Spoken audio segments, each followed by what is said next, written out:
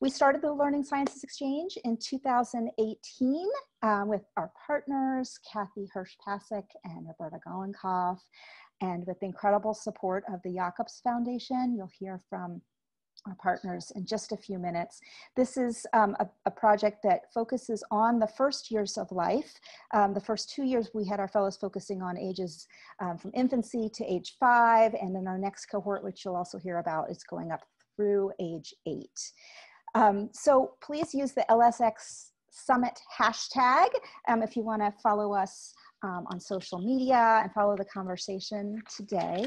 And I'm now going to turn this over to Anne Marie Slaughter, our CEO at New America, um, an incredible fervent supporter of all this work. Um, and we're so glad you can be with us as well today, Anne Marie. So take it away. So welcome everyone. I'm I'm honored and so pleased uh, to be able to be part of this summit uh, and to welcome you and say a few words just at the outset. In my academic life, I'm a network theorist, and as CEO of New America, I'm a passionate advocate of creative ideas and big thinking. And the LSX exchange is all of those things. Uh, what what networks require, what creativity requires, what sweeping change requires is connection, uh, but not just any connection, active connection across difference. And that is exactly what this exchange is about breaking down silos, bringing together people from many different worlds, from, from Hollywood to the academy uh, to deep experts uh, in learning. So uh, in, in the, what we're going to see today really is the kind of creativity and big thinking that comes out of those kinds of connections. And I want to say just a quick word on the subject itself. Uh, when I came to New America in 2013, I was passionate about women uh, and equity and many other things, but New America and Lisa and her team taught me uh, to understand that early education is a national security issue. And be, beyond that, over the last seven years, I've come to think we should be spending as much on education, starting with early education, as we spend on national defense. And right now, I would say that how much we invest in our children is a measure of our future national security, our prosperity, and our morality, because nothing is more important for equity going forward than giving all of our children an equal shot. Last, I just want to say that New America understands that our greatest impact will be achieved not through growing New America itself into an enormous uh, uh, organization. We're 150 people now and it's a great size, but really through collaboration. And so the collaboration with the Jakob Jacobs Foundation and with the Congress of Infant Studies, which uh, both of which are our partners uh, in this work, is extremely important. And that means I'm particularly pleased to be able to turn over uh, the microphone or the Zoom box, I guess, to Dr. Urs Arnold, who is the COO of the Jacobs Foundation. Uh, Dr. Arnold, over to you. Thanks very much.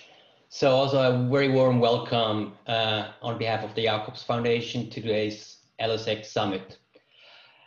Learning is at the very center of what we at the Jacobs Foundation are doing. Therefore, when we a couple of years ago had the opportunity to bring together the brightest minds in science, journalism, uh, policy, and entertainment, it was just too good an opportunity not not to engage. And, and meanwhile, we can say after these two years, it really turned into one of our flagship programs at the foundation. Why is that? It really is, and I mean, it also refers to what Anne-Marie said before.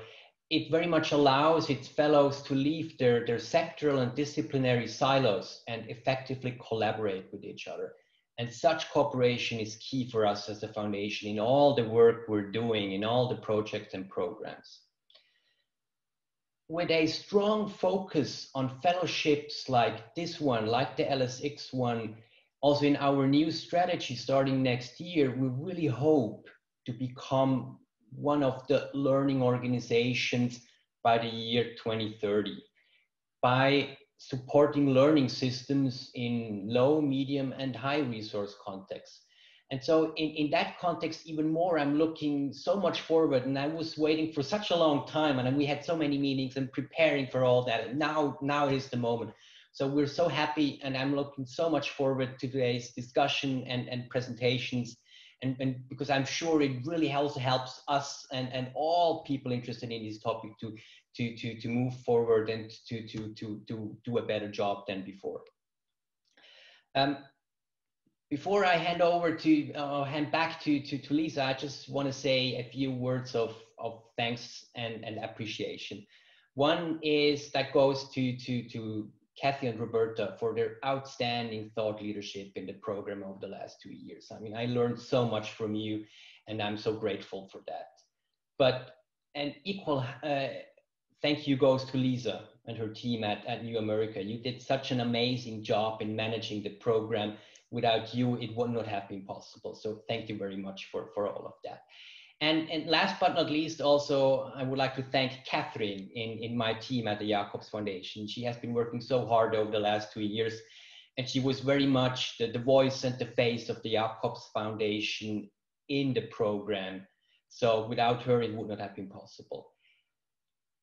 Now, thank you again for joining us today it's an amazing moment. Let's get going. I'm so much excited and looking forward to this, today's event. Uh, and with that, I'm handing back to you, Lisa. Thank you so much, Urs. Um, it's been really a pleasure to be working with the Jacobs Foundation and with Catherine um, in, in so many ways on this project. So now we are going to move into our the next phase, which is a, a panel discussion to just really help us lift up these issues and and bring out the, the urgency behind communication of science, early learning, what the media can bring. So to, to join me in this, we have um, an amazing moderator with us today, Anya Kamenetz, who, hey, hey there, Anya, it's so good to see you. Anya is an education correspondent for National Public Radio. Many of you have probably heard her on the radio, um, doing some incredible pieces over the past several months and years. She also is the author of The Art of Screen Time, which is quite a pertinent book right now. And she is a, a friend and also an advisor to us on the Learning Sciences Exchange. So Anya, I'm gonna pass it over to you to introduce our panelists. Sure. Um, sorry, and I um, I just received a, a reminder. I'm so sorry, everybody, that right before Anya goes, we are going to run a video and bring on Kathy and Roberta. So my apologies. Um, let's run the video so you can all get a sense of what this Learning Sciences Exchange is all about.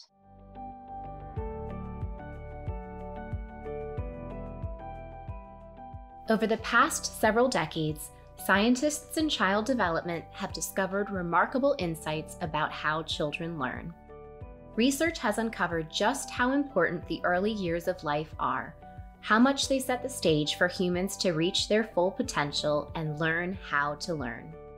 Yet that research is often hidden or cloaked in mysterious scientific language, inaccessible to the people who could use it most.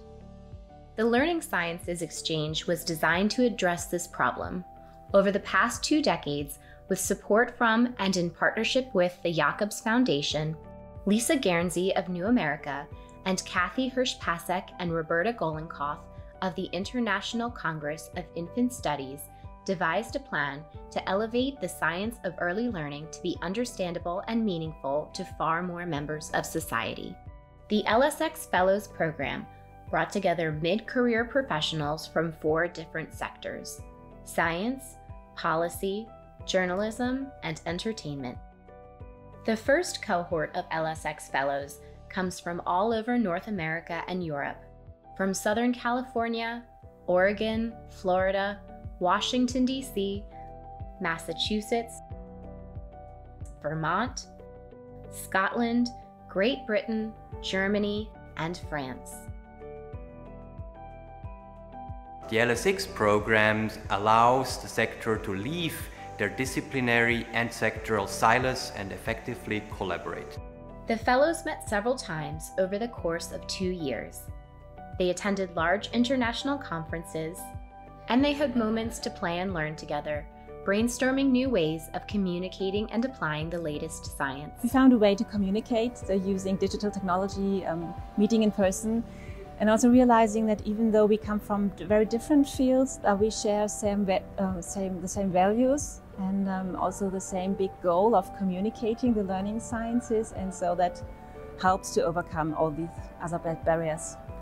I'm hoping to help build up my beat um, in the social sciences around some child development related issues, such as writing about mental health issues that show up in early years or socioeconomic achievement gaps um, and how those carry through later life. My goal as a researcher is to try and impact the lives of developing children. and that's really hard to do when you are um, trained as a researcher and not necessarily to communicate that information. The 12 fellows were divided into three groups, and each group had a budget. Their task was to develop a service, prototype, or product that could make research about young children more accessible. New friendships and new professional relationships, and hopefully just the ability to scale and impact a huge initiative. So figuring out how to how to move not only the public but also my boss and policymakers in general uh, toward the policies that we need to make for young kids and families. It's more of an, an understanding of early childhood, uh, what's current in research, how it evolves. Research is always changing, and that's what's so exciting, and, and so is storytelling. Today, the outcomes of these collaborations are available for all to see. These fellows have designed innovative ways of using video and storytelling, animations and music, board books and illustrations to bring the science of learning to life. And now, LSX has expanded bringing on 15 new fellows and adding social impact entrepreneurs to the mix. In two years, we'll see the fruits of the collaboration of our new cohort of fellows. The ultimate goal of LSX is to lift up the critical importance of early learning, setting up the next generation to flourish. It is my pleasure to introduce my colleague, Kathy Hirsh-Pasek who is in the Department of Psychology at Temple University and a senior fellow at the Brookings Institution. And it is my pleasure to introduce Dr. Roberta Golinkoff, who is a professor of education, psychology, linguistics, and cognitive science at the University of Delaware. You know, fake news really exists in every profession, but it's not always because somebody wants to woefully misinform the public. Many times, it's because they really don't understand how to take the latest evidence and the latest research and translate it in a way that the lay public can understand. The Learning Sciences Exchange is meeting this challenge. It's for this purpose to help all children and families thrive. We welcome you all today to the launch of our second cohort. And now back to Lisa Guernsey.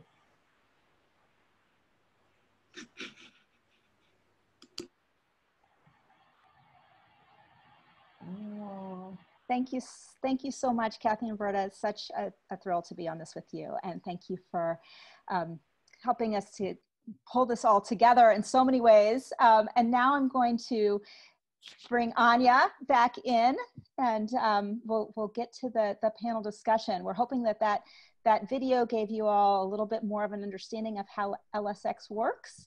And Anya's now gonna to, to bring us um, the panelists that will help us kind of understand how this fits into the broader scheme of everything. So thank you so much, Anya, for being with us. Sure. Hi, everybody. I wish I could lead you in a round of applause for Kathy and Roberta for all of their contributions and their thought leadership in this space. I've learned so much from them. Um, I've learned so much from you as well, Lisa. And, you know, we're really engaged in something so special here. Uh, the complexities and the knowledge base that it takes to create the best future for our kids um, really you know it it necessitates this kind of innovative collaboration. And this is a very rare space where this can happen. So i'm just you know i'm so proud to be able to uh, play this somewhat advisory role. So i'm, I'm here to introduce a panel um, an interdisciplinary panel. Um, everyone here is is engaged with uh, learning and young people and and uh, to some extent media innovation. Um, and we're here to really i was asked to kind of give just a big picture overview as far as um, why do we need these kinds of collaborations? What's missing um, in the way that research gets translated to parents and to the public um, in terms of the kinds of tools and media and books and videos and apps that parents actually have in their hands and the kinds of messages that they get that they're able to act on how what what are the disconnects between the research and practice. Um, so uh, i'm going to introduce our panelists and then i'm going to um, start with some questions. So we have with us um, madeline di nonno who is the ceo of the geena davis institute on gender and media which is the leading research-based nonprofit working to influence entertainment and media in a positive direction, namely to achieve gender equity in the types of images that um, our children get. And so, um, you know, just an incredibly important mission. Um, previously, Di Nonno has served in executive leadership positions for NBC Universal, Hallmark Channel, Anchor Bay Entertainment, and Starz Media. Um, so a very um, big mover and shaker in terms of making the media. Uh, Joan Lombardi, Dr. Joan Lombardi currently directs Early Opportunities LLC, which is a philanthropic advisement service focused on the development of young children, families, and the communities that support them. Um, so she's an innovative leader and policy advisor in the areas of child and family policy. Um, she advises groups that make grants like the Buffett Early Childhood Fund, the Pritzker Children's Initiative, and the Bainum Family Foundation. She's also a senior scholar and adjunct professor at the Center for Child and Human Development at Georgetown University and a veteran of um, public service as well. Ralph Smith um, is currently the managing director of the Campaign for Grade Level Reading, a national network of communities focused on promoting early learning, grade level reading, and early school success. Never more important than right now, this mission. Um, he served on many corporate boards, nonprofit boards, and recently retired as senior vice president of the Annie E. Casey Foundation. And hopefully, everyone here knows about their important work. Um, so, my first question is going to go to Ralph. In your experience and in your belief, why is there a gap between the latest scientific research on child development and the decisions that parents and caregivers are making every day as they raise children in real life?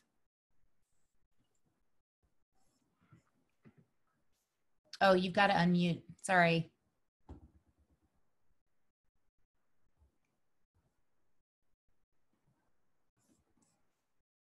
There, and there as go. I began to speak, there really was a prompt right in the middle of my screen saying ah. unmute, and of course I ignored the prompt and started. Uh, so why don't people respond to messages that are right in front of them? that's, that's, exactly that's exactly the point. Um, you know, with the campaign for grade level reading, uh, we have a number of audiences. And so there are different ways to respond to that question. But let me choose the audience that is least powerful, least influential, but perhaps most important. And that's the audience of the parents and caregivers and neighbors and communities uh, surrounding the children who are most at risk. Uh, these are the folks who we hope to nudge uh, toward what they need to know and need to be able to do to improve the lived experience and futures for their children. And in many respects, uh, research is numb uh, to this particular audience um, research and researchers uh, do not acknowledge that this is an audience that has uh, good reason to be skeptical of research and expertise because this is an audience about whom research has been done. In fact, research has been done to them and very rarely from their perspective for them. Uh, data has been data have been used as a weapon against them and not often as a tool for them. Uh, experts and expertise ha, um, have been seen as a privilege, uh, a privilege which uh, dismisses the knowledge that comes from intuition, from lived and, and lived experience, and the knowledge that springs from culture. And so, for all those reasons, there's a, a skeptical audience uh, at the core of this work. And until we acknowledge that that skepticism is real, it is well founded with good reason, we're not going to be able to communicate as effectively as we can. And when we get into the conversation, I'll share a bit about how the Campaign for Grade Level Reading responds to that. Now I did it too. Uh, thank you so much. Um, it, these are really deep critiques that you're raising. And I think there was an assumption embedded in my first question, which was that the assumption is that research, scientific research, should be informing our parents as they go about their daily, our daily lives of decision making. Um, and I think you're, you're very right to point out that not every community feels equally that that's the case uh, or that there is enough, and oftentimes because there's not enough relevant research pertaining to that community or um, with the issues that are most on their minds. So this is a, a deep problem. Um, it, so Dr. Lombardi, I wonder if when you think about the policy facing arm of kind of the research apparatus, um, how do these disconnects affect early childhood policy? Why do we never seem to have enough public attention on the issues of early childhood um, or of course enough cash? Sure. Well, thanks, on Anya. You know, I want to first build on what Ralph said about parents because I think they're related to policymakers, um, or they should be. Uh, their conditions. You know, I think parents trust, they listen to trusted messengers in their lives. They don't always listen to the media. Uh, they also have to be active participants in the information, and it can't just be one time. So, uh, you know, both of those factors are important when trying to communicate with parents. On top of that, we expect people to receive information and then act on it. And it's not that simple. Our lives are complicated. The lives of parents are complicated. They've got a lot of pressures, so they're not going to always act on what we're, we're saying. Uh, turning to policymakers, you know, I think uh, in my long history in the field, we've made some progress in communicating messages because we've simplified them from research and we've gotten a lot of help from commu communication people like Frameworks Institute and other people. Um, but what's been missing is trying to use those messages to increase resources and investments in early childhood and to help people understand what we want, not just why it's important, but what we want. And so we've got to go an extra mile in communicating those two messages because it's hard to get them through. Mm-hmm. Um, Madeline Di Nonno, you work in the realm of trying to get better messages in media, um, media for kids, um, I presume also media for parents. What are your thoughts about this challenge and how media can actually help? Well, for us, you know, what we have found is that what what happens in the fictional world can play out in the real world. And if you look at the pandemic that we're all in the midst of, I mean, just streaming has gone up 85%.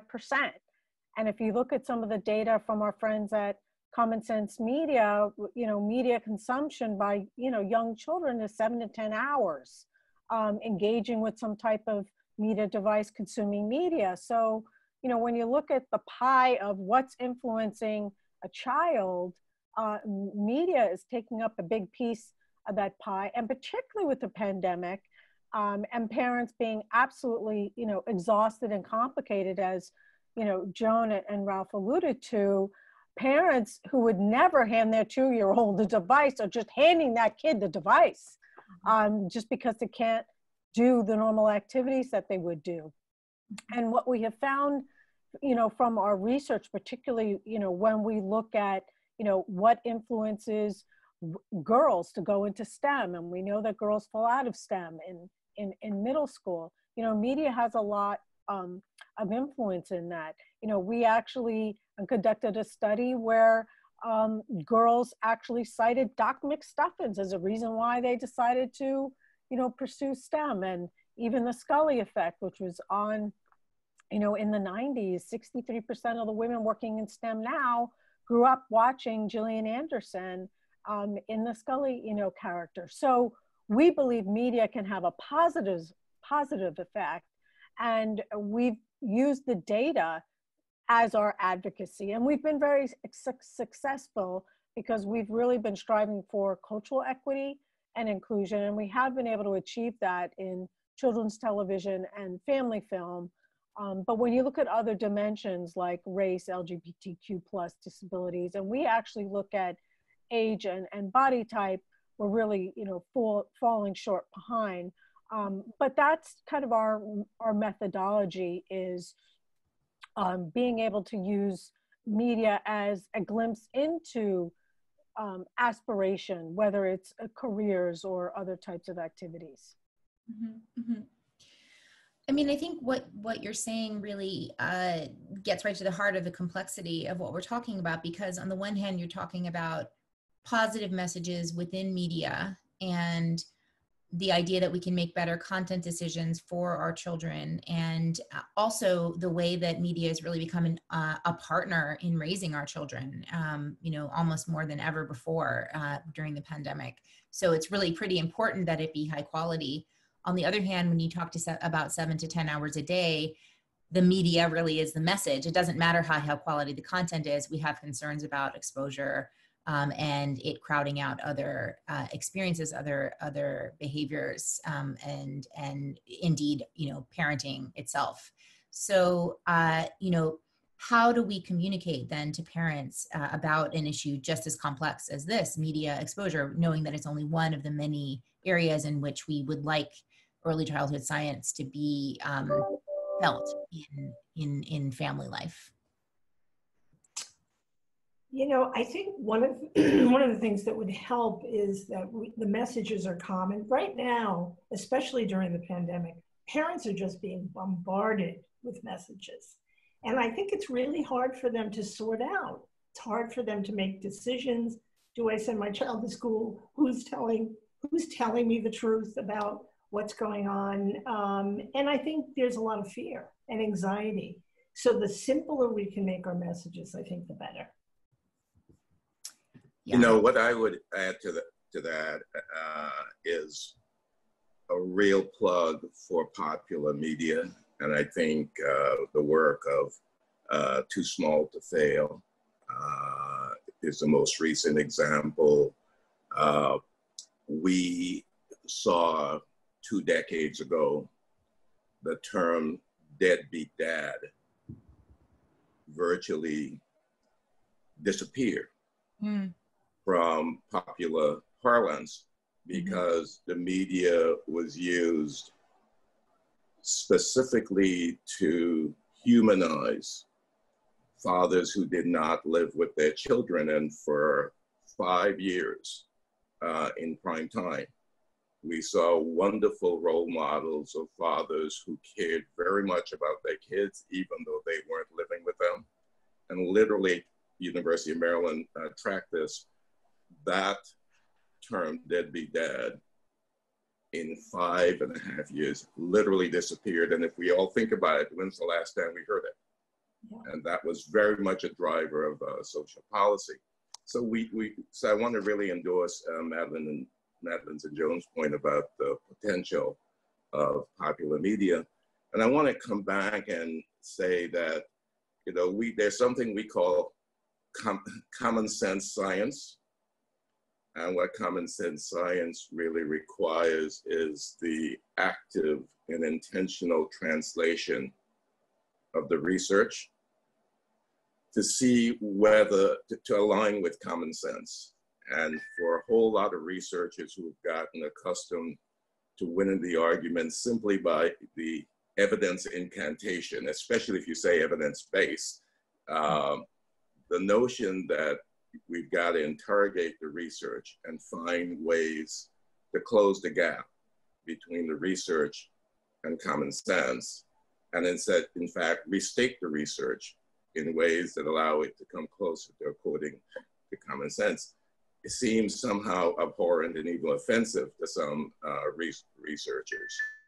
But we believe that you've got to find the gap between research and common sense, mind the gap, and close the gap between research and common sense. And the extra effort to do that is well worth it because we need uh, those parents and neighbors and caregivers and communities actually to understand and have sufficient confidence in research that they're willing to make different decisions, change behaviors, uh, and move together toward better futures for kids. So mm-hmm. this notion of common sense science, uh, trust me, they're not going to be widely embraced by real scientists, but mm-hmm. it's a practice that really should be embraced by people who want to uh, change the response to research that's truly important. Yeah, I, I couldn't agree more with Ralph. I, I, I remember being a young early childhood teacher uh, many, many years ago, and a big national study came out about the importance of group size, smaller groups, and training. And I was sitting there in my classroom thinking, well, why didn't they just ask us? You know, we could have told them that. So there really is something to to tying this to common sense, to tying this to neighborhood wisdom. Mm-hmm. Mm-hmm. Yeah, I mean, I guess I, I feel like I have to respond as someone who sits on the media side of the the table ar- around, you know, why, why does this disconnect continue to take place? And you know the media is under its own pressures to uh, drive traffic uh, even at an outfit a nonprofit outlet like, like npr we we still respond to things that get a lot of traffic and people re- read out of anxiety they read out of fear and things that respond to their fear and anxiety get amplified. And we in the media have to be very very aware of that. And i think um, you know, I'm very grateful for opportunities like LSX that allow the members of journal, the media journalists to talk and form those relationships with researchers. I found for myself as someone who covers science and covers research relationships are just so important because there's that trust that implicit level um, that you can have with someone where you're not just you know looking for a clickbait headline but you're looking at the overall sweep of, of the research um, and being able to pick things apart i think also on the side of the media you know recently um, we're we're all engaged in trying to interpret very quickly emerging science right now on coronavirus and coronavirus in children. And uh, we in the media have to be very responsible for that. And what we've discovered, for example, um, at NPR, is that we need to collaborate. We need to collaborate between our science desk, our health desk, our education desk, because they know doctors and we know kids.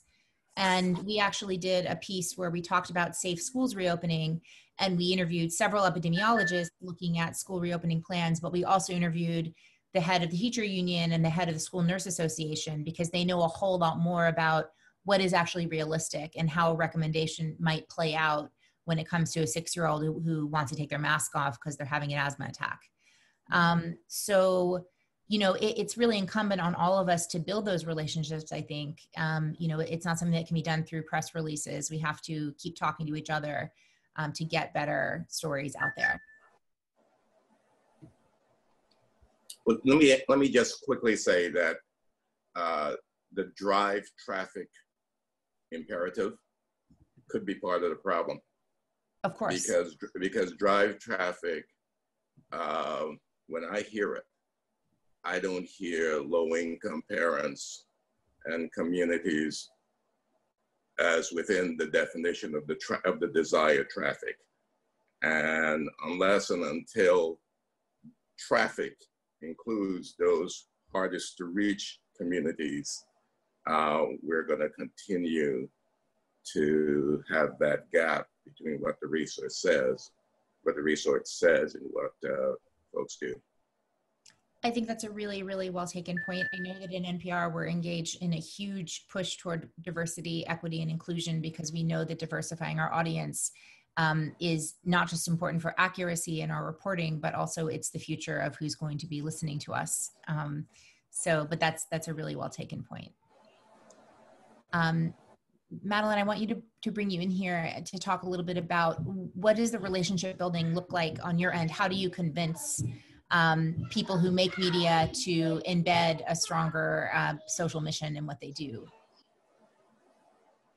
So, you know, the um, we work in a number of different verticals, um, advertising, film, streaming, TV, and we're actually um, launching our foray into uh, video gaming uh, next year. We're really excited about that. And what we have found is because we've always had a focus on what our youngest children see and family entertainment, the creators of this entertainment want to do good by our, children. You know, they are parents, they are, you know, caretakers um, themselves. And it's just, they weren't aware of the unconscious bias that was embedded in the on-screen media. And, and, and you have to, just to make the point, we focus in what's happening in the content um, versus what's happening behind the camera. Because when it comes to hiring and pay equity, that's conscious bias.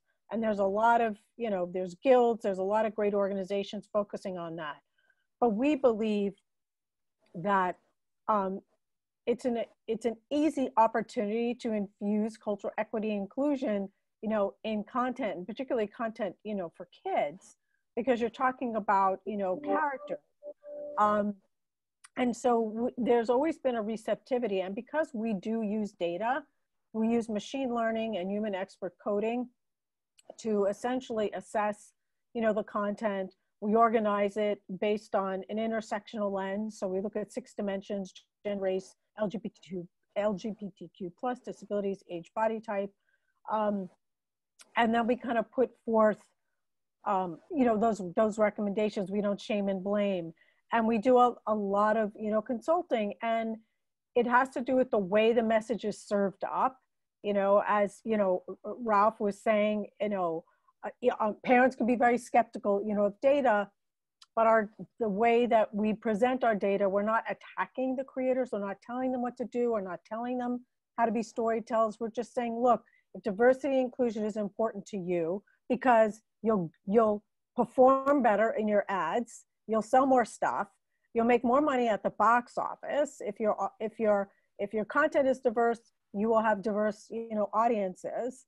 Um, so there's a business imperative that also goes with the social imperative which has been you know proven out. And we have found people to be you know very receptive but it is changing a way of thinking. And it's really that they just didn't realize how they were describing their character or that all the characters were white and male. And it's only been just pointing it out over and over and over again like ralph was talking about the um the deadbeat dad you know trope.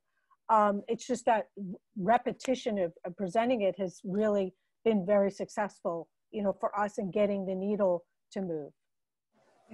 I think the repetition is key, Madeline, and I'm so glad you brought that up because you know you don't learn something when you hear it once. And the integration of that with entertainment and the whole way this fellowship is is being put together is really going to, I think, help advance uh, our cause when it comes to policy and trying to move policy, which is maybe the hardest. There may be a lag behind what parents want. There is a lag. Um, I think we have to be aware of how policymakers think. They think uh, uh, about what is in front of them right now. So those repeated messages have to be timely to the decisions they're making. For example, right now, we need many more messages that are showing how hard uh, the impact has been on so many families and the need to support them with the benefits that can help them pay for basic needs. You know, Susan Fitzgerald uh, has put a, a, really important question in the chat box and one which I think um, uh, deserves uh, an, an, answer. And, and her question was how do we account for those occasions, and there are many, when the combination of culture, intuition, and uh, lived experience just plain wrong, and in fact even even harmful. And I think that's a that's a really important question that we not assume that the combination of intuition and lived experience always lead to virtuous results. We have powerful evidence to the contrary.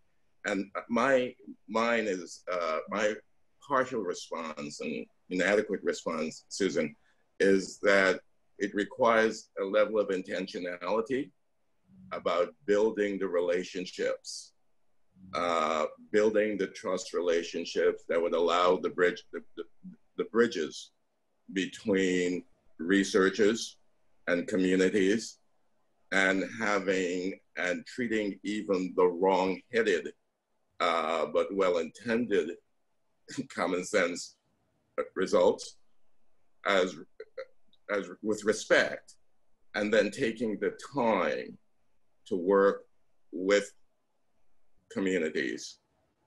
And, and I think Joan's point is bring them into the research and partnership so, so that there's a shared uh, evolution of knowledge and not something that's imposed that we're right and you're wrong. But I think it's a really important uh, challenge to which we have to respond and which I hope is within the reach of what I'm hoping is going to be common sense science.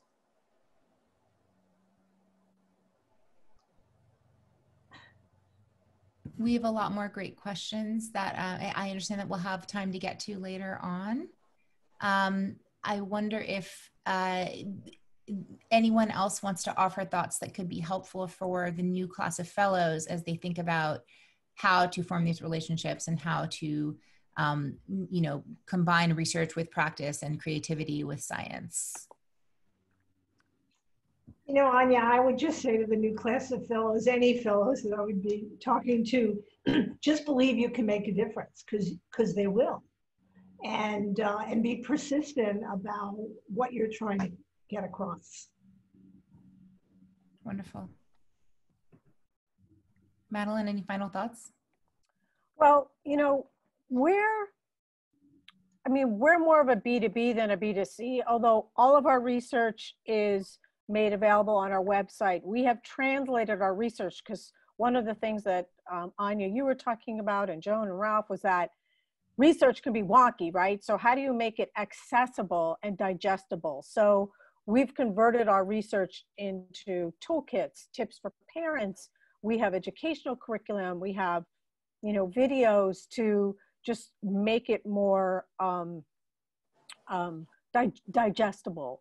Um, and that's been very helpful for us. And also, we're dealing with real, you know, very, very busy executives who have very short attention spans. So, uh, visualization, data visualization has been the key. When they see a box with check marks, it's an immediate yes, this we've done well from an intersectional lens. No, we have not thumbs up, thumbs down, you know, so we've really, really simplified it um, so that people can immediately look at it and get it. And, you know, unfortunately, some of the best research in the world is just sitting in some Word document um, that no one will ever read. So it's been really important for us to make sure that we can take our research to the ground, so to speak, and make it easy for anybody um, to to use, and that's been uh, that's been helpful, and and I think it's also been uh, been a way we've been successful also because you have to be able to speak to your audiences, which is something that Joan and Ralph and even you said early on um, when people can become skeptical, you know, of data.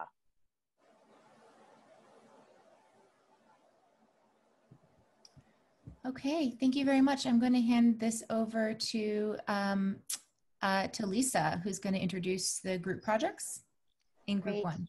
Yes, thank you so much, Anya. Um, already so many important thoughts coming out of that discussion, and I'm so grateful to all of you, Joan, Ralph, uh, Madeline. Thanks so much for being with us to lift this up. The, what I was hearing through that, that I think we'll really see in the next section of this event um, was the relationship, relationship building piece and really listening across these different sectors and silos and then really listening to parents and those who are on the ground. So I think you're going to hear a little bit more about that. What we're going to do next um, is move to really the centerpiece of our our summit, which is to really showcase the work of the 12 fellows who came together and starting in 2018. As you saw in the video, we are um, we were able to bring these folks together, help them get to know each other, but we also um, assigned them to teams and they were given a budget and they were asked to create something, create something wholly new that could help to elevate the science of learning or communicate in new ways to, to families and parents, to policymakers. And so I think you're gonna be really thrilled with the result of that. It's pretty exciting. So I'm gonna, we're gonna start now um, by bringing you the, the story of the first group of fellows that we, we put together. Um, that includes, I'll, I'll just um, name them now and then you're gonna see them on camera after you, you see their, their work. And we'll have a moment for us all to ask them some questions and respond to them. So you can put your questions uh, in that Q&A box and we'll be collecting those. What we're going to be doing next, um, we'll show the story of, like I said, the first group. This is Robert Carpenter of the University of California's uh, Media Institute for Social Change, Sujata Gupta, Gupta of Science News, Lisa Scott of the University of Florida, and Katie Whitehouse, formerly of the National League of Cities and now with the Council of DC. So um, they're just fantastic, amazing people, and I can't wait for you to see their story. So let's go ahead and run the video that tells their story. What drew me to LSX is the fact that it was the very first fellowship that combined research, public policy, along with filmmaking and journalism. And I thought, how interesting to be able to kind of cross pollinate. When my son was a baby, we just thought we could read anything to him and we're pretty educated you know like we we thought that the message was just read to your kids like anything is fine and there, we have a picture of him like in his diaper and he's like a couple months old sitting on my husband's lap like reading some enormous book. I don't even know what it is. I do think there's sort of a misperception that babies, when they can't talk, don't understand things. And I think that that's another important thing to make clear is that babies really do understand quite a bit far earlier than they can, you know, speak and communicate themselves. The message is essentially to, you know, read the right books at the right time. So when you're reading to infants, when they're younger, and you name characters in a book with a proper level name, like Betty, um, they tend to pay more attention to those characters and they learn more about those characters. It seems that they're a little bit more engaged when the characters have names. I mean, I think that if we can increase parents' awareness that these early years are are valuable and important, and that reading to your child as an infant is an important uh, thing to do and to, an important way to spend your time as a caregiver, that would be that would be the ideal outcome.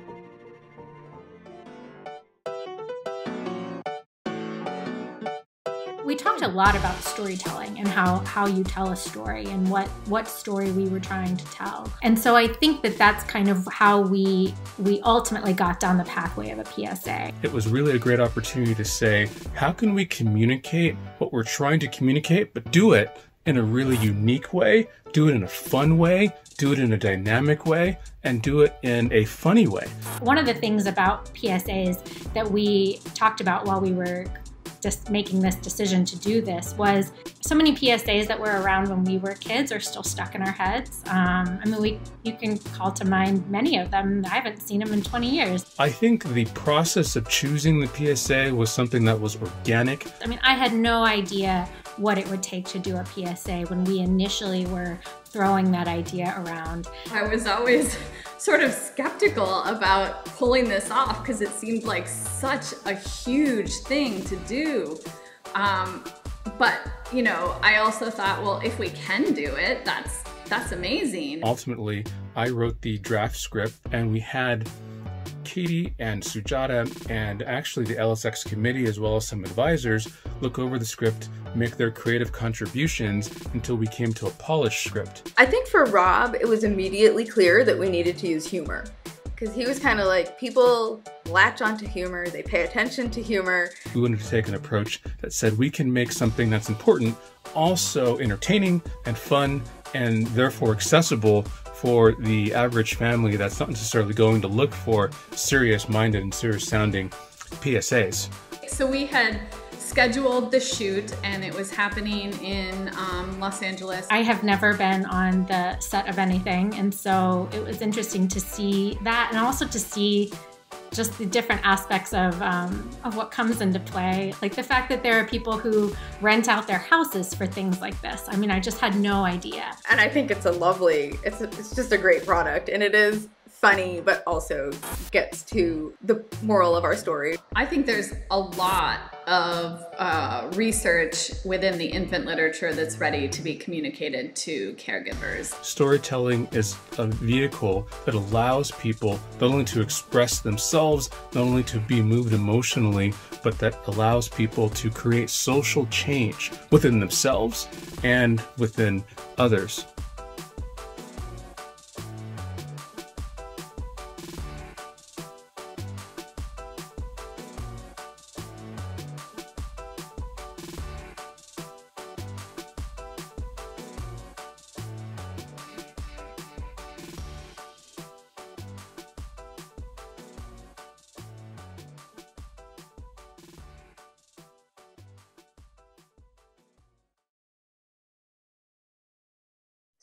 I'm glad you all could see that. I really appreciate um, just, it's, it's, really fun to see the, the work that's gone into this. And now you're gonna see the actual product, the actual PSA that this group has developed. We'll also be having, all of these are gonna be available on our websites. I know that for some of you, there may be a little bit of a lag in the audio depending on your internet, um, but you'll be able to see them that way too. So let's go ahead and we'll run the PSA that they created.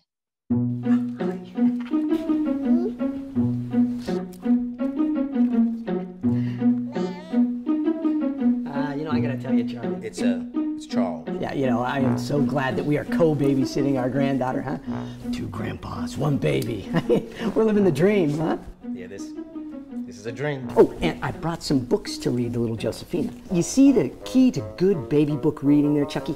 It's Charles. It's not so much what you read, it's how you read it, right? You got to entertain them. Yeah, I'm pretty sure that's not true. No, no, no, it's about the voices, right? So like, okay, okay, so, okay.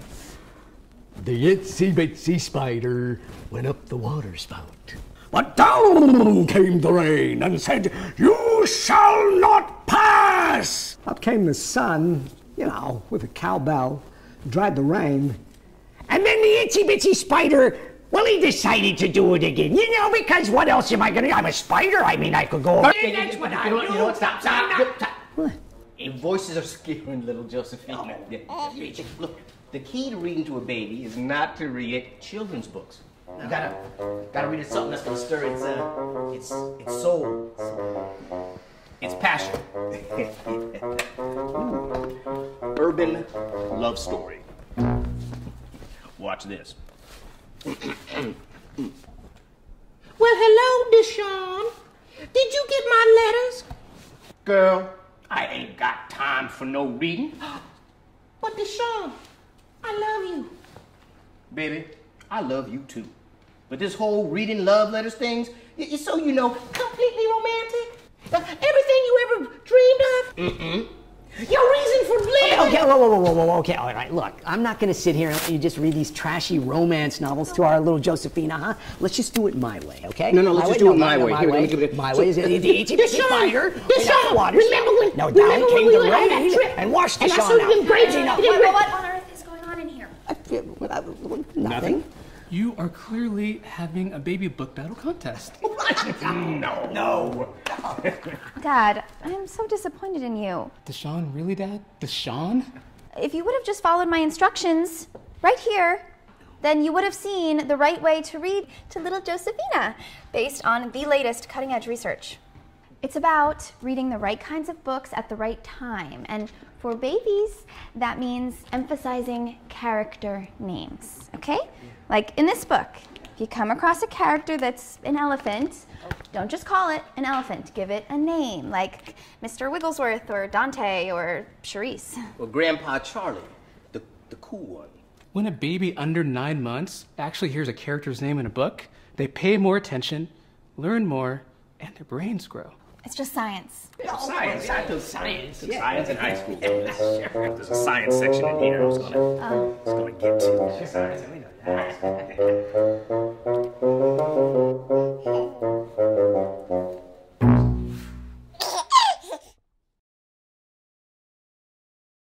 Oh my gosh, it makes me laugh every time I see it. So, um, again, thank you so much to the amazing group of fellows that um, that worked on that.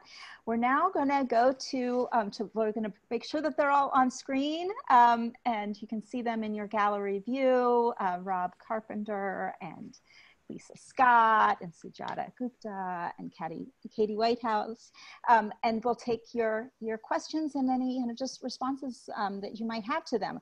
We, we are fortunate that we, we know that there's um, one of our participants in the audience who has a, has a first question and response, and I want to bring her into the conversation for a moment with us to ask ask the first question of these amazing fellows. So Jessica Sager, who's CEO of All Our Kin. Hello, Jessica, so nice to see you. And um, Jessica also just um, is now joined our advisory board. So she'll be advising us for the next cohort of fellows. Um, but Jessica has not had a chance to meet these fellows. And um, this may be the first time, I think, Jessica, that you've seen this work. So we'll, um, I'm going to be monitoring for other questions that are coming in, but why don't you go ahead, Jessica, and ask whatever you'd like to ask. Thank you so much. So first of all, I am so thrilled to be here. The panel with which we began was just phenomenal, and I'm so delighted to meet the current fellows and work with the new fellows. Um, I'm here with my colleague, Jana Wagner, and we're with All Our Kin, which is an organization that works with family child care educators. And that makes me especially excited about this PSA because family child care educators partner so deeply with parents and grandparents. They are, in fact, those trusted messengers that Joan Lombardi spoke about. And they are always looking for new ways to bring the science of early care and education and the strategies and techniques that they use and share those with families. So I'm really excited about that. And that really, uh, I think, tees up my question, which is this. Um, how can you imagine this PSA being used? Can you imagine being something that early childhood educators can share? Are there ways that maybe you can imagine using the tools of social media to take pieces of this and disseminate it more widely? When you imagine ways to share this message, um, which is so full of joy and love and wonder and science, mm-hmm. um, how do you think about networks for doing that? Lisa, did you want to answer that? Sure, I, I, I can start. Maybe Rob, you you can finish. Um, you know, I, in in my view, I I'm just so excited that we're getting to um, be able to communicate science in such a fun uh, and exciting way that you know I'm I'm hopeful that we can spread this information. You know, uh, pretty pretty widely. Uh, Rob and I have talked a little bit about a series of PSAs that might be related to um, early childhood development and, and kind of continue along the same theme. And uh, I guess, Rob, I'll let you talk a little bit more about what, what your interest is also. I know we talked about some other options too.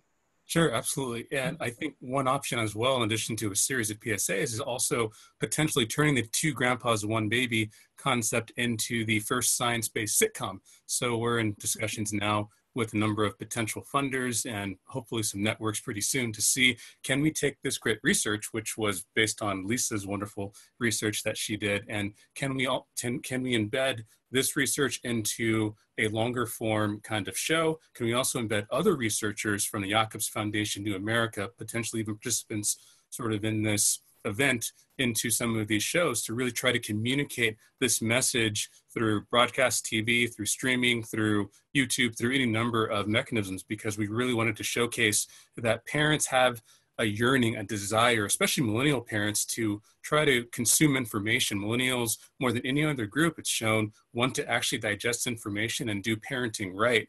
And so we think that it's a, the great opportunity and a great time to showcase something like this. So hopefully all any and all sort of communication mechanisms will take into consideration and put out. That is great. Can I ask one really quick follow-up or maybe make a really quick follow-up plug? Um, you know, I feel like to, to some of the points that were made earlier about representation, caregivers, particularly home-based caregivers, whether they are family, friend, and neighbor caregivers or family child care educators, um, they're usually not represented on television at all. And when they show up, I have seen the ugliest kind of stereotypes around what they do and who they are. So, can I encourage you to put some really wonderful caregivers in your show um, and really make their work visible? Um, and I'm, I'm thrilled about the sitcom idea. I completely love it.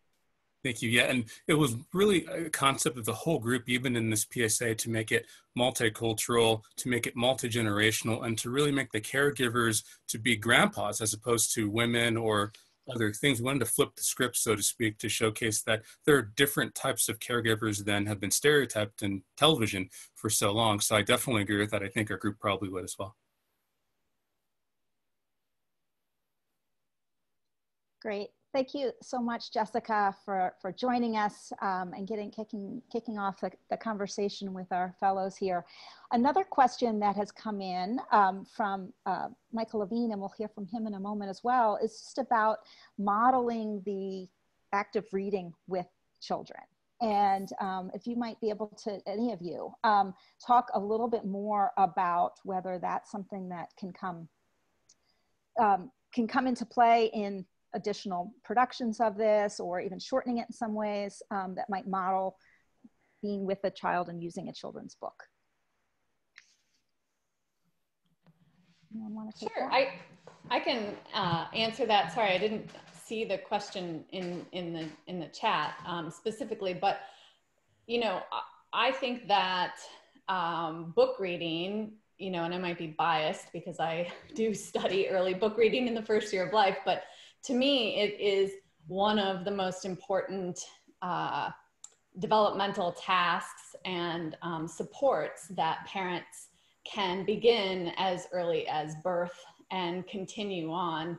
Uh, it provides time where babies and caregivers get to snuggle, they get to um, interact, they get face to face communication. A lot of times it's a little bit quieter, maybe sometimes at night or before bed. And so um, and and parents use a lot more words and a lot of vocabulary when they're reading books or when they're explaining things uh, to infants in um, in the course of book reading. So uh, I, you know, I think that it's really an important, uh, um, I guess, activity for us to promote and to try and uh, better support in the first year of life and uh, you know and continually throughout childhood and just to make it a part of the routine. And so i think modeling this and also sharing this information about uh, certain kinds of books leading to more uh,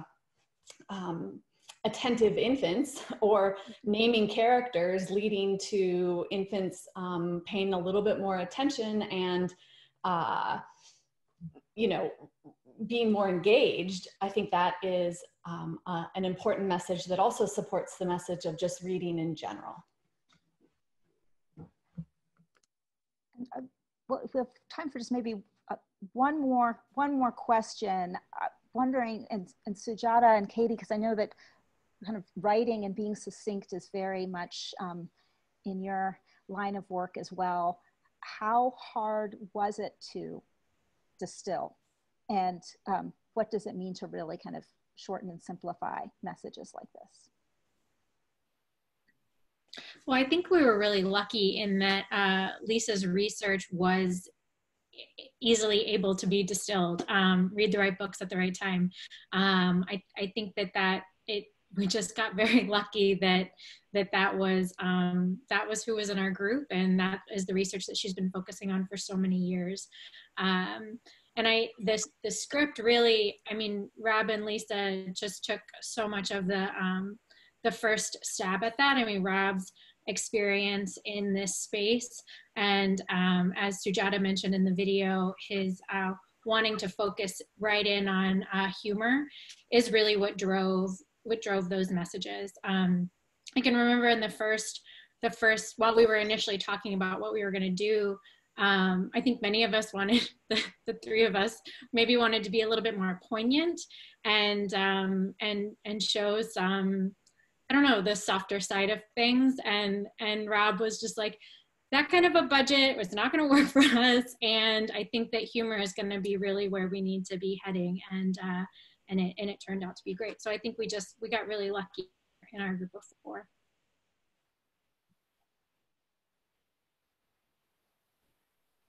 Any other quick comments? And we're going to move to group two. Um, okay.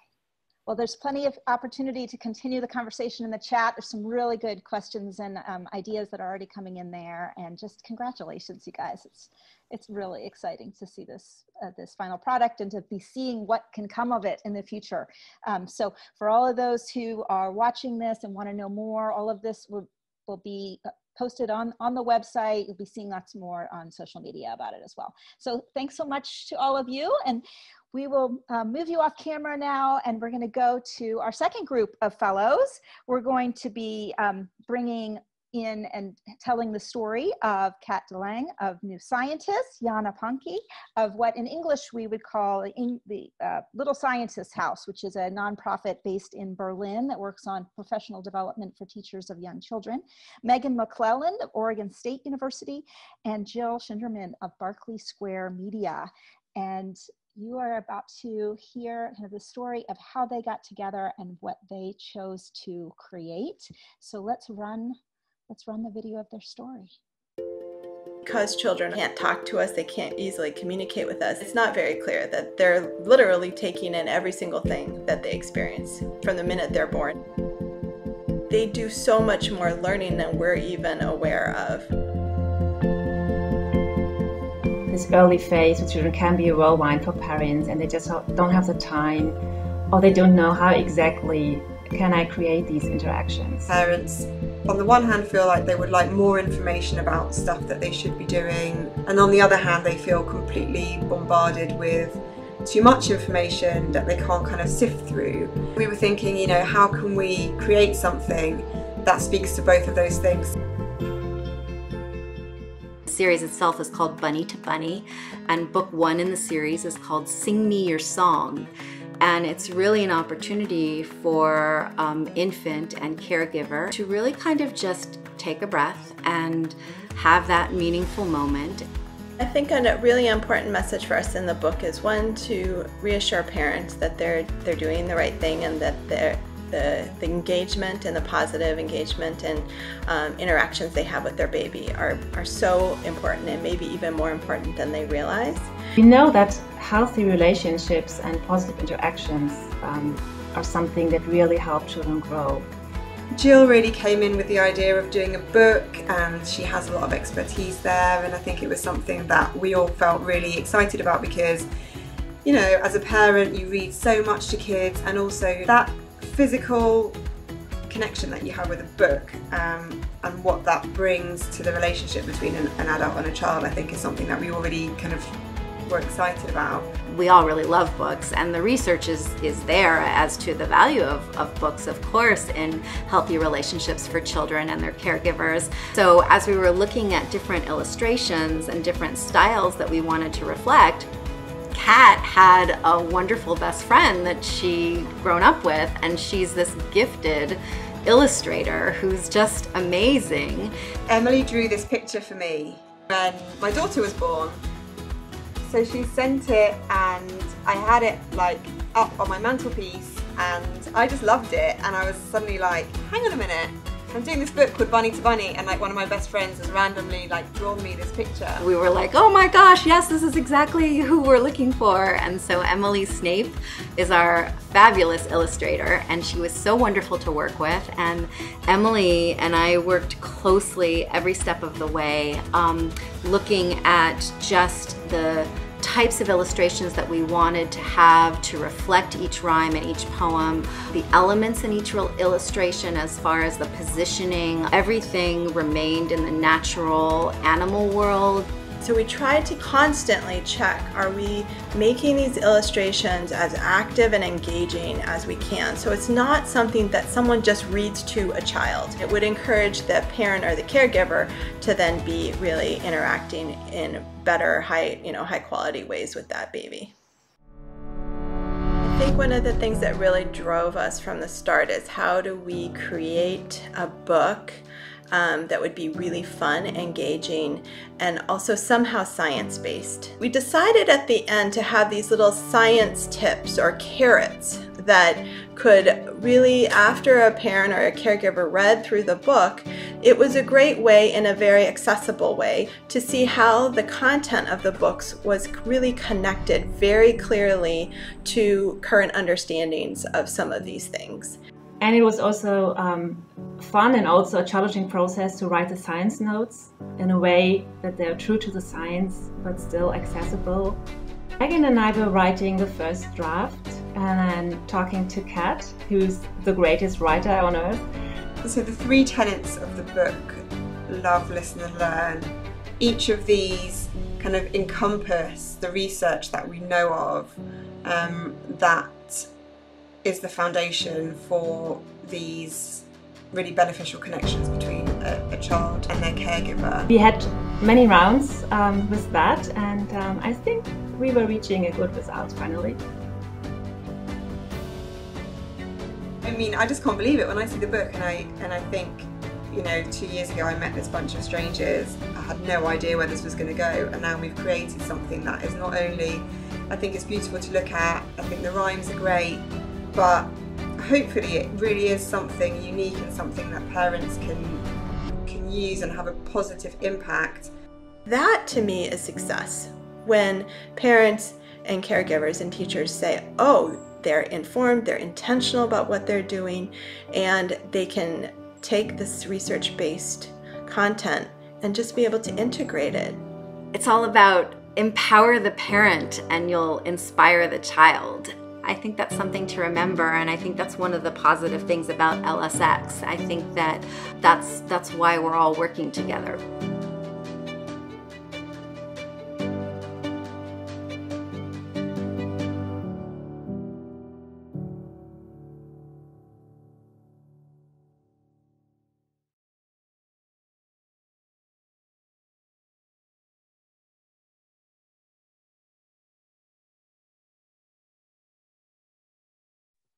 Oh, so lovely. Um, it's really fun to see others' reactions to that as well. So, um, oh my gosh. So we're going to bring everyone, um, make sure you can come on camera here with us. Kat and Yana and Megan and Jill will be joining for a discussion about this. Um, it's just congrats, you guys. It's really exciting to see that. Um, so we will have our first question. So uh, for everyone who's attending, definitely give us your questions, put them in the Q&A, and I'll, I'll be watching along with my uh, staff here. But we do have a first question I know that's going to come in from Michael Levine, who is a senior VP at Nickelodeon and in charge of learning and impact at Noggin. And oh, great, there he is. So Michael, thanks so much for, for being with us today. Um, what did you think and what question would you like to ask of our fellows? Oh my gosh, good afternoon. Hi, can you guys see me? Um, that was just such a refreshing delight. And I think you've actually encapsulated the brilliance of this multidisciplinary collaboration right there. I cannot wait to read these books. I do think you may have some trademark issues, but we can talk about that later because uh, the Pat the Bunny, um, you know, uh, series is iconic and really, really um, something that I'm sure you guys looked at and might have inspired you. Um, what can I say? I mean, um, the notion that you guys would combine empowerment of parents with um, this science of read, you know, dialogic reading with something that is so creative and appealing is really it's one of the best things I've seen in a long time. I mean, just to be totally honest, it's so great. Um, I have two questions. One, and you know, obviously, I want to see the books. I mean, I'm ready to buy my first book. Um, how much kind of adjusting and iterating did the team? The team looks like it came together brilliantly. Um, I mean, did you like experience any tensions between the science and the beautiful creative process that you guys, you know, organized? Um, and you know, what is it that you learned from the dynamic of collaborating that you think that you will bring back to your work? And I'll, I'll have one follow-up question after you answer that. Um, I think that from the moment we all met at our first meeting in in Pittsburgh or in Philadelphia, um, it was really we we just bonded and we bonded on so many levels. We came together on our passions for wanting to um, learn more about healthy attachments and the and the research that Megan does and that Yana does, and um, I think that we as a group really came together for wanting to create a whole world, a bunny to bunny world that was included every element in the ecosystem of a child's life. And so we started with a board book. And I think our process, um, I think that it was very thoughtful and intentional and collaborative in the sense that we were all learning from each other and we all had a gift to bring to the table that really, I think, filters through the book in so many aspects of the creative and of the research. Um, I'll turn it over to my colleagues to add to that. I'll just quickly add that um, I think as the researcher in the group, what was what I really learned in this process was what was really obvious to me as a researcher was absolutely not obvious and and i um, to others and and i think we live in and i i have to say i feel really passionate about um, um, translating the work I do into ways that can be really feasible and practical for parents and caregivers. And so I thought, well, yeah, I have this, you know, I, have done this before. And then Kat would come in and just, she was just brilliant. And she would say, jargon, jargon, jargon. I thought I was translating, but my version was really quite different. So we had to do a lot of checking. And then Jill would, sometimes in the science notes, she would say, well, something and I'd say, well, we can't quite use that word because we don't actually can't ask the babies this. And so we just had a lot of back and forth about just being careful um, and and just being true to the science. Yeah, I think I could add to that because Megan is a fantastic communicator and um, and Jill obviously knows exactly what you have to do to kind of um, package things up in a way that's appealing to the audience. So, but um, one of the things that I found often was that Megan just assumed that people, you know, like it was obvious to people, and she would just say something fascinating about her research and then follow up with, but everybody knows that. And I'm like, no, Megan, like people don't know that. And like I'm a science journalist, so I probably know more about it than like a lot of people, and I'm a parent, but I still don't know that. So, um, so I think, yeah, we all learned from that um, kind of experience, and I think I learned so much from from Jill and Yana as well about like how to um, communicate to different kinds of audiences that I'm not used to communicating to as well.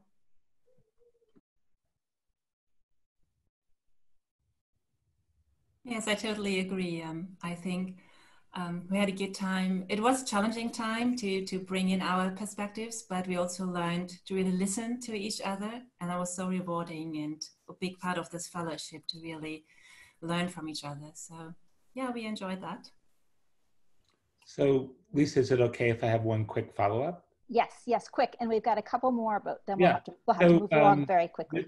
So there's a, a big body of research around, you know, parent tips and I'd be glad to share some of it with you guys and with the extra audience. I've done a lot of work on digital um, creation, um, now leading the Noggin Learning Service. And um, I'm curious about how you guys decided that they're usually unsuccessful, um, especially when they're separate from the experience that the you know kid and the and, and the parent are going through.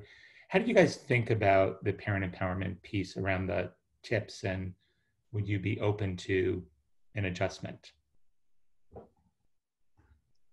And I think that some of the thinking behind it, and we we definitely would be very grateful for um, your expertise and um, definitely open to adjustment. But the, I think our logic was that at one point we were talking about should we put the tips.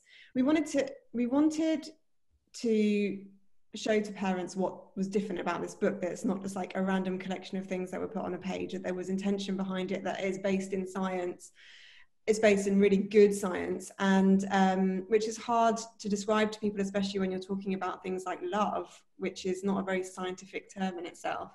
Um, so at one point we talked about having the tips kind of um, perhaps as like badges on the page as you go along so you can see uh, page by page what it's referring to. And then we thought about how many times as a parent you read a book to your child and how over it you are by the like 20th, 50th time you read it. And so we just thought those tips are just going to get so annoying. So perhaps it's better to have it at the back.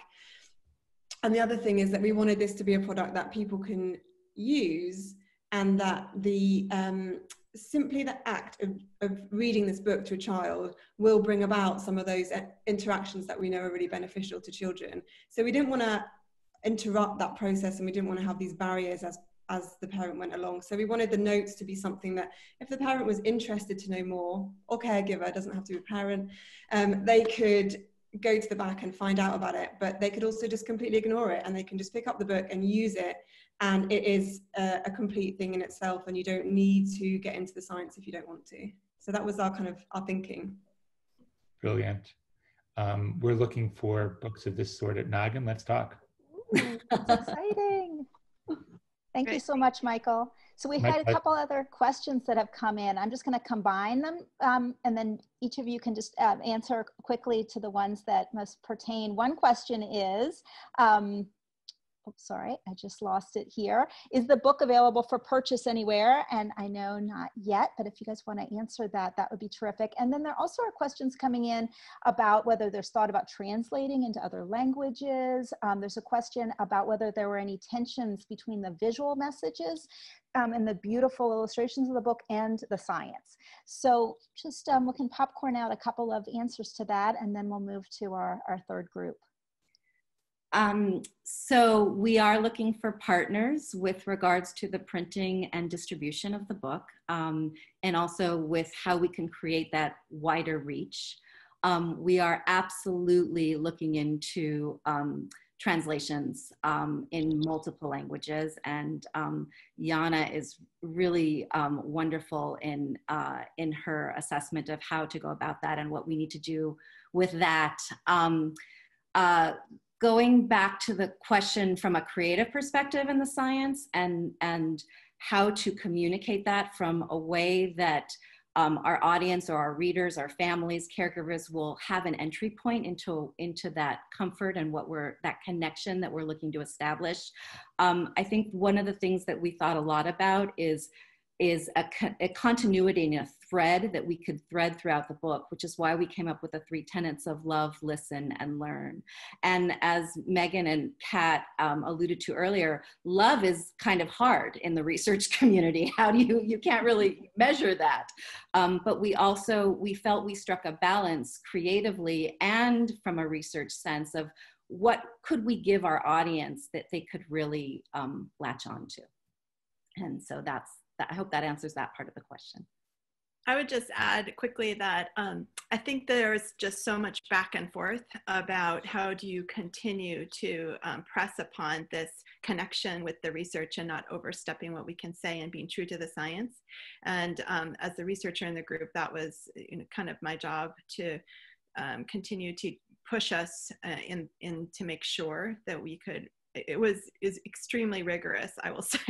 Like this is like a great peer review group um, for the work. I mean we had to back up every single word uh, and so I, I felt really confident by the end. And and i also just want to say that we care very much um, about the evaluation of this sort of book and are applying for projects and grants so that we can really evaluate because i do a lot of research on evaluation um, and um, interventions. And so i think that's also an important piece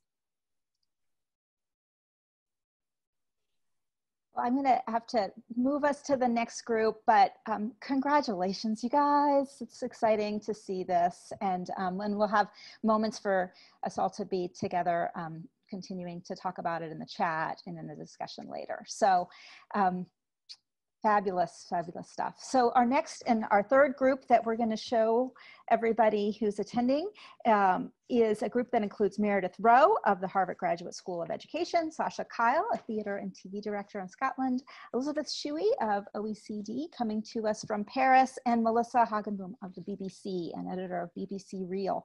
So they too have um, just developed something amazing. I can't wait for you to hear their story. So we'll roll with their story now. Language is such a fundamental part of early childhood and the development of language and hearing language. It's really a building block for uh, social and cognitive development. If you measure children's vocabulary when they get to kindergarten, so how many words they know, it's super predictive of like their reading skills later on in fourth grade, for example. And we have these huge achievement gaps by socioeconomic status in reading.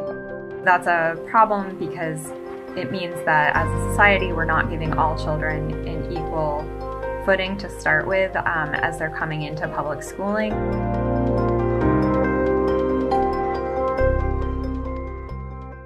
I was really excited to see the LSX announcement when it came out. The brief was we want to cross collaborate with people and combine art forms um, with science. I was like, that brilliant, brilliant. This is what I want to do. This is what I'm interested in. And how exciting would it be to work with um, people from different worlds and different fields to make the work that I'm doing even even more interesting and have more of a um, background to it and be more accessible. I was really drawn to areas of research surrounding poverty and how it impacts children that tied directly to this big project I've been working on in the criminal justice system and one of the scientists in the group, Meredith, her work was all about the word gap. So the word gap is the fact that children from higher socioeconomic backgrounds are exposed to many more words during early childhood than children from lower socioeconomic backgrounds, basically at home. But the important piece of it that we know now is that it's not so much the gap in quantity that matters, but it's the gap in quality. So having those sort of really high quality conversations with the children is what we're finding is more important. To the point that early childhood can really make a difference for a person throughout their whole life. Um, one of the things that we try to emphasize uh, around policies is also that yes, that's the case, but it needs to be something that's a sustained investment and not equivalent to an inoculation. That you know we need to have strong transitions into primary school as well, then, and uh, continued opportunities for all children.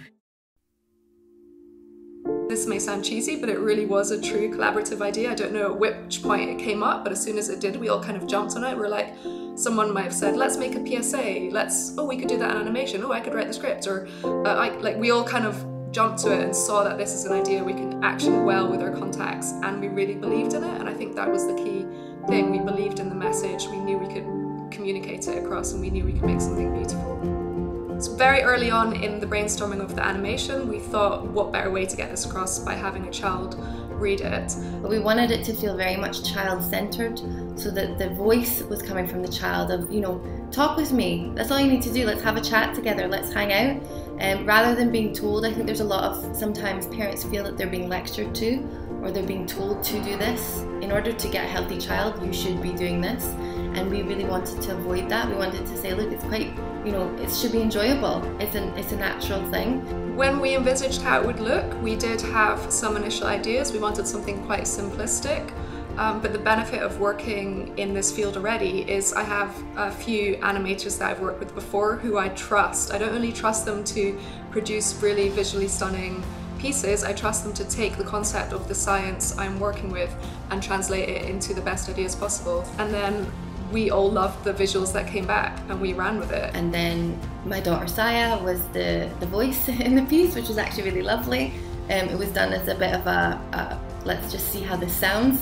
And everyone seemed to like her uh, voice, which was really nice for her. And it's been brilliant for her to see it all come together as well. One thing I've learned just through doing small research studies, parents who do know more about child development and about, you know, what kids are capable and about interacting with children, do then ultimately sort of interact with them in ways that promote learning. So there is something very much to be said for just getting information out there in an accessible way so that if parents want to access it, they can. I'm really grateful for the fellowship and the opportunity to engage with this incredible group of people. It's just been a really great experience for me personally to work with such a diverse group of people and learn a lot about different industries. I mean, I still have a lot to learn, but it's been a it's been a great experience for sure.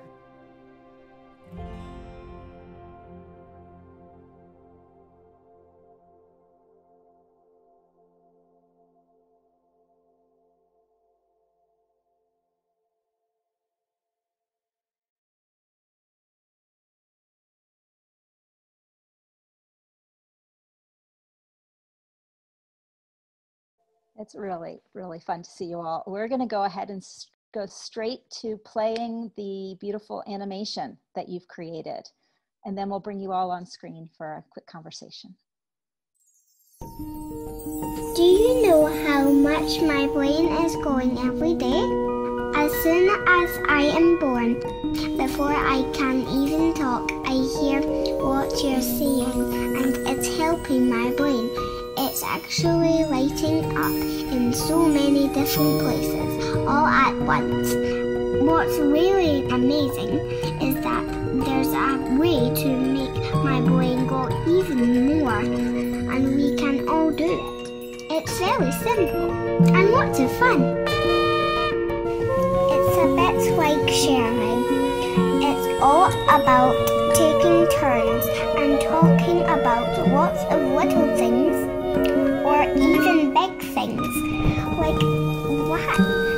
Or how do flowers grow?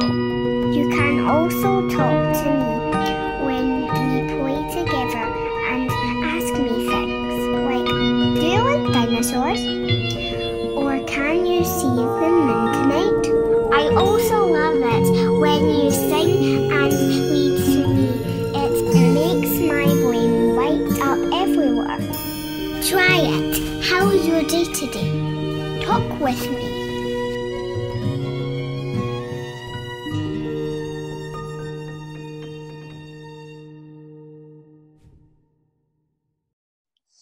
So, lovely. Okay. Um, thank you guys so much. And also thanks to our, our participants for bearing with us through uh, doing this all through Zoom. but we, we are really glad we were able to show these um, videos and didn't have too much audio lag, at least on their products. So thank you all. Oh my gosh. So, all right, it's wonderful. I see Melissa, you're on screen and Meredith is with us as well. And um, do we, do we have Elizabeth and I just want to make sure everyone's joined. Okay, Elizabeth and Sasha, you're there too. Good, thank you guys so much. Um, we are going to have our first question come from uh, one of our participants, uh, Sita Pai, who is joining us. I see Sita's with us on camera. Hello, Sita. She is the Executive Director for Education at WGBH in Boston. And Sita, thank you so much. We're really interested in your, your take on this. We'll be taking other questions too in a moment, but um, what, what would you like to ask the fellows?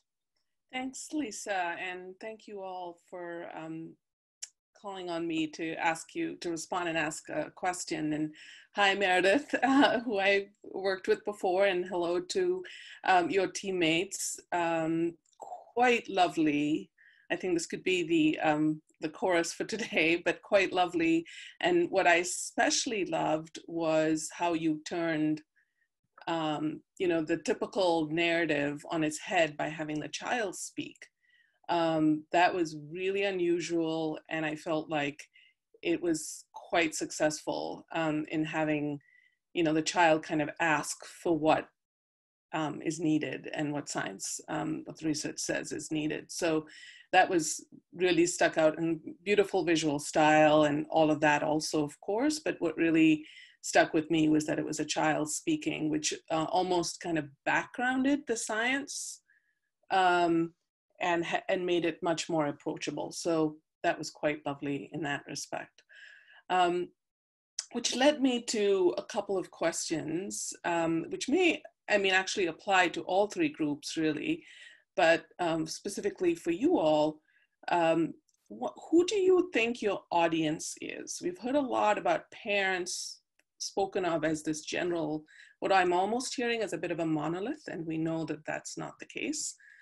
Um, who do you think your audience is? And to plug what Ralph said earlier, um, you know, if you're sort of talking to a particular group of parents, did you think to include them in in the creative process, um, or is that something you could think about in the next step? And how might it have been different if one of your kind of uh, intended beneficiaries, ultimate beneficiaries, was in, was included? And I'm asking specifically as a relative minority in the field of, of uh, early childhood and in fact early childhood media as well. I mean, if we look across all of us, uh, we're all fairly privileged, um, pretty homogenous, and so we don't often give, we don't often bring our ultimate beneficiaries to the table. We're trying to do that more at GBH, but I wondered how you thought about your audience and how they might be included. Um, I think one of our kind of priorities for doing the PSA was to make sure that we get as much audience reach as possible and have the biggest impact. And I think in terms of the child's voice, um, we really wanted it to be child-centered so that parents who are often bombarded with so many messages all the time, and again, how to you know be told how to raise their children, um, are, are being told in a different way, which is look, this is natural. We just need to be together we just need to chat together, read together, have conversations, and you're helping my brain grow. And you're, you know, setting me up for a lifelong positive way of learning. And I'll let Meredith chat a little bit more about our audience as well, I think. Thanks, Sasha. Yeah, hi, Sita. Thanks for the great questions. Um, you know, we actually did think, we had a whole conversation back in Zurich and thought about starting with uh, some focus groups to sort of address the question you're asking directly. And with the way this fellowship works, we really didn't have time to fit that into the process. Um, so we relied a bit on Kathy Hirsh-Pasek's research, actually. She had done a bunch of focus groups in, uh, I think in Philadelphia. And she was the one actually that I think uncovered this idea about the child's voice, uh, maybe being a little bit more um, compelling. And I think she has an intervention that which maybe she can comment. Um, anyway, that also uses that perspective. It's like the sibling talking or something like that. Um, so we really just tried to rely on what we knew from other people's work to jump into something. I one reason I really like the animation though is because since it is animated, I feel like we could change the voice, right? So this is Sasha's daughter, right? So she's got the Scottish accent, but it could be any voice, and and that could make it more appealing to different people. I think, um, depending on what the child sounds like. You know, we could do it in Portuguese and show it in Brazil, or you know, just widen our audience that way, which without having to change the animation, which would be quite nice. Um, I don't know if anyone else, Elizabeth or Melissa, you want to add anything? Yeah, I'd love just, to. Go ahead, go. Melissa. Okay, to, to that point, it's it's always difficult in this field where the people that you reach most are the ones who already know the message, um, and that's why I think this fellowship is so great because we have people like um, the, the scientists Kathy and Roberta's team who've done this before in very underrepresented areas who know how to get the message across to groups that we wouldn't otherwise reach. And so I think moving this forward, we'd rely on people like them to really bring this message uh, to groups that we might not otherwise think to reach. And I just want to add to that that um, one of the things that was really important to me was that um, the line in the video about we can all do this, that, you know, it's not just only parents. Um, my work focuses a lot on child care providers. Uh, we talked in some of the about um, family, friend, and neighbor. Child care providers in earlier parts of this discussion. And I think it's really important that that, that group is included as part of the audience also, um, as well as extended family caregivers. So beyond kind of a traditional parent perspective, uh, we tried to make the message something that could be used beyond just um, a traditional kind of view of what uh, is seen in the media of family or of a child care provider. And also there is that one slide in there that I love with the father with the child on his shoulders. And it just, I just think it was important having a father in there. I mean, you know, the animation is um, not so specific anyway, but that, that was a nice touch, I think, too. Yeah, well, thank you. I, I did appreciate that the animation was, you know, seemed malleable and, and, and ch changeable in that way because it wasn't identifying a very specific um, location or a specific context. So in that sense, you've potentially made something that could be changed in different places. So yeah, I appreciate that. Um, I appreciate certainly appreciated that. So Lisa, I will leave yeah. it for others to ask questions and not hog. I have about 25 others, but I'll leave it for others. Thank you for including me. Thank you so much, Sita. Um, yeah, well, we have had a couple other questions come in. We're, we're, we're, a little bit late on time. So again, I'll just mention a couple of them. And then if you guys want to answer and then any closing remarks, and then we'll get to the last part of our um, more open discussion. Um, one is um, related to this uh, issue that you've already been addressing, which is just um, how to ensure that resources like this um, uh, can be shared with different with families in different socioeconomic uh, circumstances. And I, I know because you guys had talked about it early on that this was um, one idea was that this could be in the, in the United Kingdom could be part of a larger kind of campaign that um, is perhaps reaching different um, socioeconomic uh, levels that way. Um, there's also lots of questions about just seeing the video and wanting access um, to, to it and to be able to kind of watch it again because everyone's loved it so much. Um, and then, so why don't you guys, if, you, if there's anything more you want to say about the ensuring that this can get out to um, different families and different circumstances, that would be great. And then we'll open up to many more folks for our panel, or I mean, our larger open discussion. Um, I just want to add, as part of our group, what we've been discussing is alongside the animation, um, to extend the message of this conversational turn taking, is to put it into a book that can be given to parents um, when they give birth to their children. Um, and in Scotland, they currently do this with baby boxes, and they have books within that where they hand out books of um, uh, for, for the early years at that age level. So we're thinking of maybe doing that as an extension of our message. So alongside the PSA, you would also be able to access the book which would be delivered to, to families at all, all stages as well. I'll let Meredith or whoever answer that as well. Yeah, I would just say that the beauty of an animation is it can be widely shared by any partner who gets involved. Anyone who has a large social media following, it can pop up in people's social media feeds. Um, the book we've already had designed by the same animator in a book-friendly format. So we've we've got loads of assets ready to go so we can kind of get this message out there um, in lots of different ways i think with, with the hope it will reach as many people as possible.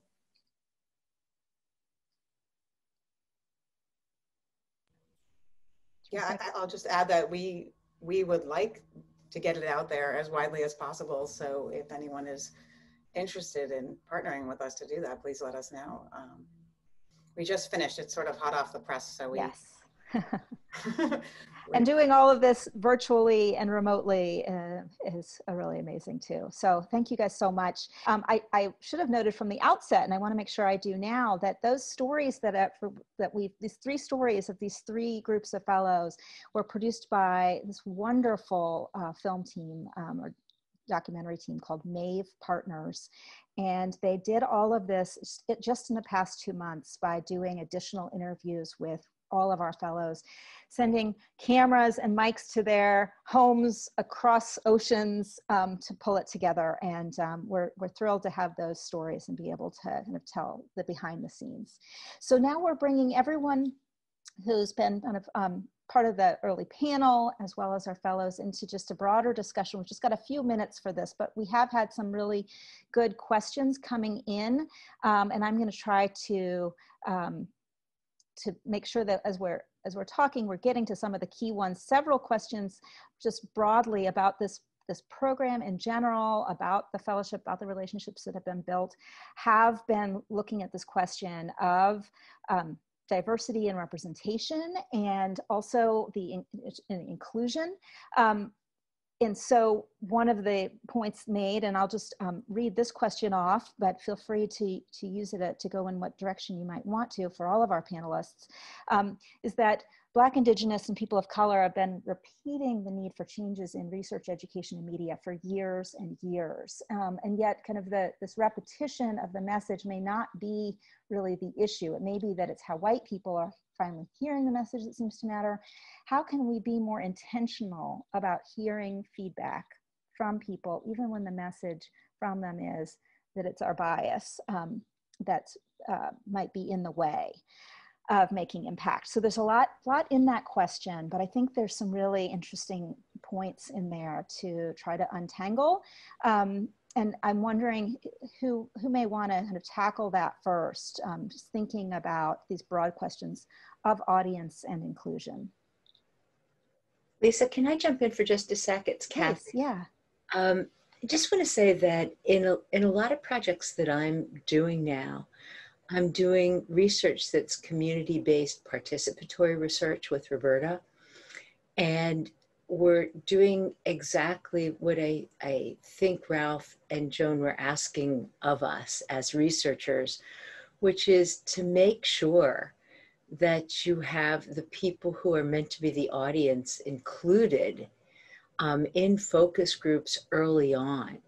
And what we've come to realize is that while it takes a lot longer to do this kind of research, it's been considerably more powerful um, let me just take one example and, and show you what I mean by that. We had tried to do some um, research in what we call the Duet Project.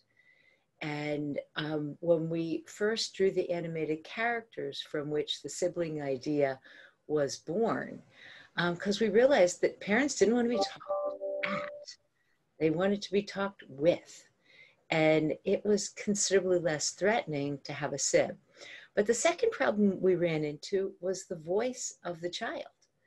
Um, we were working with a principally um, Black community as an audience, and we quickly learned that we better make sure that the voices are not little white children because that was seen as an insult. And we're now converting it to um, Latino, to Spanish and we're going through the focus group process yet again. So I think it's involving more people in the research.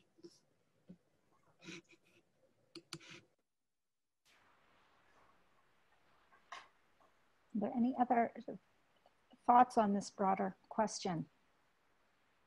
Well, you know, Lisa, I have a thought about the overall content of what we're trying to convey. And one of the things that I would urge the next class to do, and anyone that's doing this work, is to send messages to parents that we need to celebrate the diversity of the country and to convey that to our children as a value.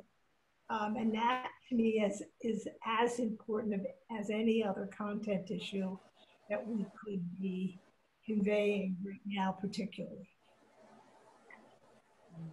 You know, I would I would weigh in um, to agree with Joan, but also to point out that much of research takes a monolithic approach. For, in, for instance, we, we see these families as failing in many respects. But even in the weakest community, there are families that succeed and kids that are doing well. So there's a legitimate question of what's working for those families? What are they doing? And that is rarely ever the question. Mm-hmm. The question is, what can we bring? Rather than, are there some indigenous solutions that have been cultivated sometimes over generations in these same neighborhoods, which protect resilience uh, and encourage success. And to the extent that we never see research as asking that question, there's very good reason why there's a bias against research. You know, if we, and, and I think there are occasions where where we have looked. There are a few occasions where we have looked uh, for that. And Robin Jarrett, uh, researcher in Illinois, um, essentially says, what do we know about the top 10% of the graduating class in the worst high schools? There's something there. And she looked at it, and this was uh, 25 years ago. And she found that one of the characteristics they had were their parents arranged for their children to have some place to go after school and reduce the amount of exposure to uh, community influences and increased, increased the experiences that kids have. That research is never mentioned when we talk of after school programs. So my uh, advice here would be to invert the question a bit. And rather than assuming that nothing is working and therefore we have to bring something, let's figure out how we look for what's already working and try to see whether we can um, replicate, synthesize, and scale it. Thank you so much, Ralph. Actually, I'm uh, my mind is taking in a lot to apply to our own work in the next two years. Um, but also there's so many good things that what you've said have triggered, they're being put in the chat right now. So I really encourage people to go there and see some of the new ideas that are coming up um, from that. I'm afraid I'm going to have to actually cut off this discussion because we're nearing the end. Um, and I really hope we can continue it in many other ways um, online what we want to do next is um, our final announcement, um, uh, our announcement of our, our next class of fellows. We're going to bring Kathy and Roberta back in, um, as well as put a slide up for everyone to see so that we can, um, can bring you to this new point, and then we'll say a quick closing. So Kathy and Roberta, take it away. All right, thanks, Lise. And I just want to say that I'm so excited about this process. We are about to announce the new class of fellows. So take it, Roberta. Our first fellow comes to us from the world of research, and her name is Judith Danovitch. Our second fellow comes to us also from the world of research. These are how we're dividing them up into the sectors. Elizabeth Gunderson. And our third fellow is Nada Pere. And together they will be put into the separate groups to create their own projects. In the world of journalism, we have Lillian Anekwi, we have Jack Graham, and Annie Murphy Paul. From the world of policy, we have Brenda Bushouse, Kathy Mitchell, and Emmy O'Dwyer. From the world of social entrepreneurship, we have Pooja Balachander, Tammy Kwan, and Jakob Slowinski. And last but not least for sure, from the world of entertainment, we have Jeff Kleeman, John Sessler, and Ariel Zeckelman. And I am so personally excited to get to know each and every one of you. You are all outstanding people. Congratulations. Yeah, it is. It's really exciting. I just feel incredibly lucky to be able to work with all of the fellows from the first cohort and the new ones that are joining us. Many of we've already been meeting many times this summer, and they'll be working with the old fellows when they can, but also learning from advisors and from all of you who've been participating in this. Um, we really encourage you to reach out. We want to be doing as much kind of cross-pollinating as we as we possibly can. Um, I want also just note, and this is a, a, bit just from the world of journalism, which many of you know that that's kind of where I started was as a reporter. These ideas about both um, connecting research to real life, communicating succinctly, communicating in a way that helps people um, feel connected. Um, uh, we really hope, and, and, we're already seeing the fruits of this in our work through the, the journalism fellows who have been part of our work, but also through some of the um, blog posts that our, our fellows are doing. So in addition to all of these amazing projects that you've seen and the, the prototypes and PSAs, we also have each of the fellows are doing some writing. A lot of that's already on our on our website. More will be coming out over the, the coming years, whether it's writing in an outside outlet or for the publications that the Jacobs Foundation and New America publishes. And we're hoping that, that too will be able to um, bridge many of these gaps we've been talking about today. So we're now um, very, very close to being out of time, and I just need to say a few thank yous um, to everyone. First, of course, um, as I see on, on screen right now here, I want to make sure everyone knows how to stay in touch with us. Um, we're all pretty accessible. The All of the people that you heard speaking today, all of their Twitter handles are in the agenda that's online.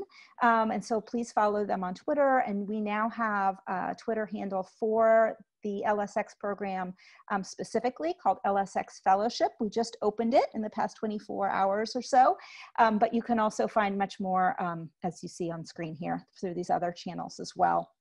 I want to say just a huge thank you to the team that's made all of this possible. Um, we had um, hundreds of people interested in this and registered for this, and that's because of the hard work of so many um, people behind the scenes. So a big thank you to Elise Franchino, to Riker Pestakevich, to Angela Spitalet, to Narmada Varium, to Jason Stewart, Samantha Webster, Hannah Hancock, Fabio Murgia, Sabia Prescott, Claire King and the May Partners Group. Um, to, of course, to all of our fellows who've been dealing with all of our emails and many, many meetings. And, um, and to the Jacobs Foundation, a huge, huge thank you. So I hope I didn't forget anybody in that. And I'm really just thrilled to be with you all. Um, all of this will be recorded and available, and we will continue the conversation online. Thank you, everybody. Have a really great day.